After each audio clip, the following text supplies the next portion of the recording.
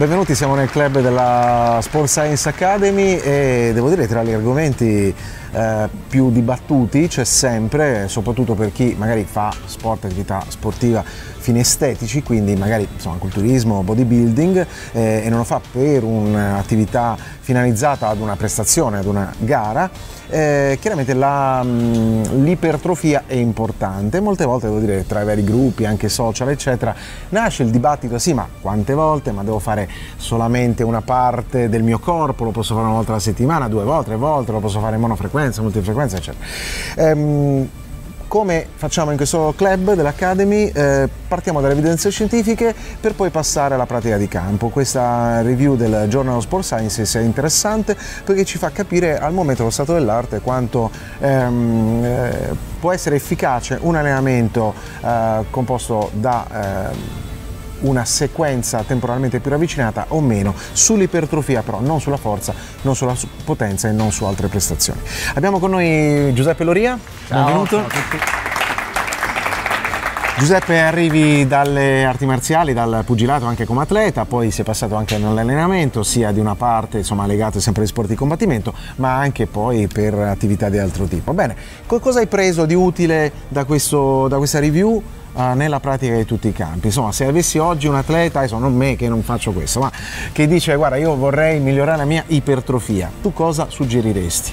Sì Gianmario, effettivamente il discorso è estremamente dibattuto perché ancora oggi, nonostante questa sia una meta-analisi review sistematica, quindi può dare un indice abbastanza certo dello stato dell'arte attuale, di quello che la, la scienza dice in merito a questo argomento, eh, lascia ancora spazio a molti altri studi eh, ad oggi sembrerebbe che, eh, fatta eccezione del, del, discorso che diceva poi anche Paolo Penso, che l'allenamento è una risposta individuale e su questo non ci si può eh, discutere, ma basandoci su una media statistica, sembra che non ci sia una grossa differenza tra la multifrequenza e la monofrequenza.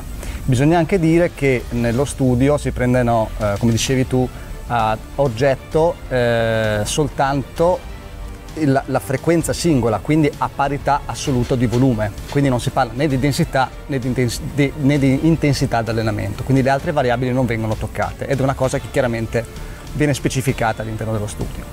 Eh, detto questo, appunto da un punto di vista pratico, eh, il suggerimento è quello di eh, analizzare l'atleta che si ha di fronte e cercare di capire se questa persona risponde meglio a uno stimolo eh, in monofrequenza, cioè lavorando il muscolo eh, ai fini ipertrofici, bisogna dirlo specificatamente, certo. ai fini ipertrofici, eh, una, due volte a settimana, il singolo gruppo muscolare, il gruppo muscolare, oppure farlo arrivare fino anche a 5-6 volte a settimana. Ecco, Giuseppe, quindi... ti volevo, Giuseppe, molte persone che poi seguono non arrivano tutte dalla palestra, cioè no, certo. fanno canoa, nuoto o altro, per cui monofrequenza, multifrequenza, di cosa stiamo parlando?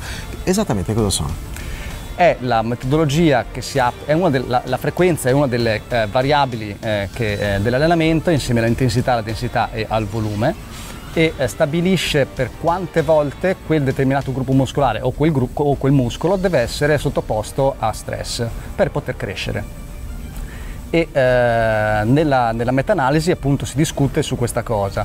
Eh, il misunderstanding spesso avviene perché ehm, si fanno, si menzionano ehm, professionisti del settore, specialmente bodybuilder, che per lo più si allenano quando arrivano ad un certo livello in monofrequenza, perché riescono a dare e, e qui torniamo al discorso che facevo Paolo Penso, un carico interno molto, molto importante nella singola eh, seduta di allenamento e poi hanno bisogno di tempi di recupero molto ampi per poter massimizzare la crescita muscolare, perché poi l'ipertrofia è la crescita muscolare. Eh, negli sport, diciamo così, questa evidenza eh, decresce, perché negli sport, ehm, qualsiasi sport sia, l'intervento di tutte le altre variabili, che non sia soltanto la crescita muscolare, è molto importante. Quindi altri tipi di adattamenti che si ricercano vanno a influire. No? Ecco, qui sulla, sulla, review vengono trattati anche degli esempi, diciamo, esempi, più che altro altri studi che ci sono stati. Eh, quindi esce sulla review, ma sicuramente sulla pratica di campo eh, ne parlate costantemente. Non c'è un metodo che è sempre giusto o sempre sbagliato. Assolutamente no. Quindi dipende anche dal livello d'ingresso. Molte volte capita, magari sui social, sui social anch'io insomma, intervenga in qualche gruppo, in qualche discussione, che magari una persona si è appena iscritta in palestra, sta proprio iniziando e gli dicono no, ma tu devi fare monofrequenza perché? Ma anche no. Ma anche no, eh, esatto. Ok, quindi tendenzialmente come consiglio generale tu diresti a una persona che sta per iniziare di fare un tipo di lavoro... Di suddividere il volume su eh, più frequenze, cioè di allenare quel muscolo più volte alla settimana, da dividere, in questo modo da dividere il carico interno, come diceva, eh, lo stress subito, in modo che il corpo possa recuperare meglio quando la persona ha deciso qual è, qual è lo, l'obiettivo da perseguire, in questo caso è l'ipertrofia, allora può ragionare su diverse strade e vedere come il proprio corpo, in funzione degli adattamenti che ha avuto nel, in un periodo più lungo, perché bisogna dire che eh, qua si parla dalle 6 settimane in su, mai brevi tempi, 6, 8, 12 settimane o ancora anche fino a 24, eh, perché gli adattamenti sono molto complessi da ottenere e poi una volta che ha eh, sua, eh, un suo background può decidere se eh, allenare in multifrequenza o in monofrequenza.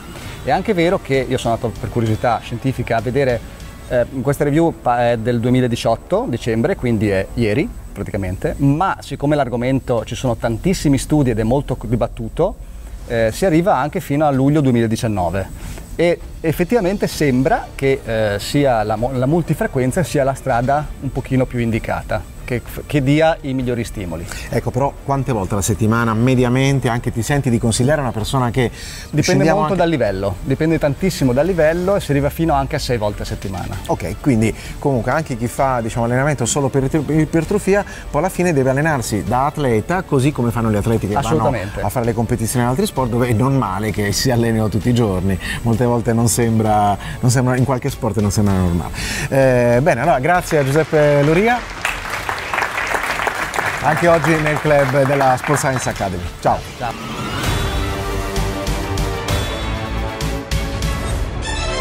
Formula Hit, il primo libro sui segreti dell'allenamento intervallato ad alta intensità per sport e fitness. Lo trovi in tutte le librerie oppure sul sito ufficiale formulahiit.com.